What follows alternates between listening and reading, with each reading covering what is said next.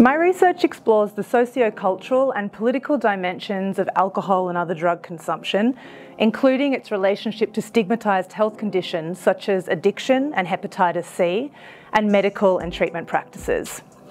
Using qualitative, mainly interview-based methods, my research draws attention to how social and gendered norms, policy and research, and scientific and medical knowledge impact upon people who consume drugs and shape their experiences of selfhood, agency, health and well-being.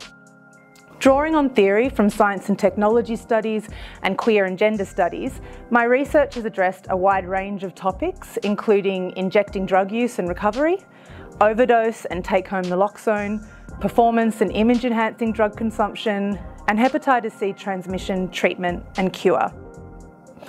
My Alfred Deakin postdoctoral research fellowship will explore the social dynamics that shape women's substance consumption for the purpose of fitness and strength training. This is an important area as nearly all research on this topic has focused on men, with women's experiences largely overlooked. I'm hoping to find out more about the contemporary gender and sexual norms that emerge through women's substance consumption and health and fitness practices, especially as they play out in relation to broader health optimisation and enhancement imperatives and social media. With this research, I'm hoping to generate much needed knowledge about women's experiences to inform targeted and non-stigmatising health information and harm reduction responses.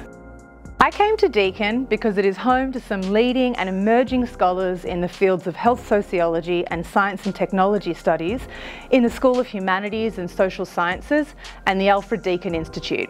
With colleagues in sociology, I'm hoping to develop a new program of research that will apply novel, interdisciplinary approaches to investigate a range of urgent health issues and contribute to new understandings of contemporary health issues in Australia and internationally.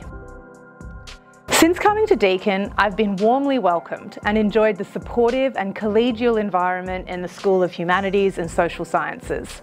I've received support to submit a large Australian Research Council discovery project on the role of trauma in alcohol and other drug-related problems with colleagues from La Trobe and Monash University, Australian National University and the University of New South Wales. This project, if successful, will complement and strengthen the faculty's new health and wellbeing research pillar and hopefully lead to future grant successes and collaborations. Coming to Deakin has offered me the opportunity to develop my own distinct program of research. During my postdoctoral fellowship, I plan to work with senior scholars to develop a new interdisciplinary program of research on contemporary health issues to strengthen Deakin's new health and wellbeing research pillar. I will also develop a hopefully successful application for the Australian Research Council's Discovery Early Career Research Award Scheme to continue my theoretically informed, critical qualitative research on alcohol and other drug consumption, health and wellbeing.